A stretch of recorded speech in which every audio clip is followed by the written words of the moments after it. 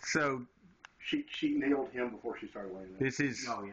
this is uh, Shane Hrobar, Bartlett Tree Experts of Houston. This is a No, horntail it's caterpillar. horn This is a horntail caterpillar off Arizona ash. You collect that in Sugar Land, Yes. uh, covered with parasitic wasps. It's so you s- you say he's paralyzed. yeah. He's moving a little bit. He will move a little bit, but She he's sting, she stings him and then yeah, basically impregnates him with these, and then they pop out. And Did you take some good close-ups with your still? Yeah. And did you use the did you use the video clip function of your camera? Because this is not taking a very good photograph. no, I didn't.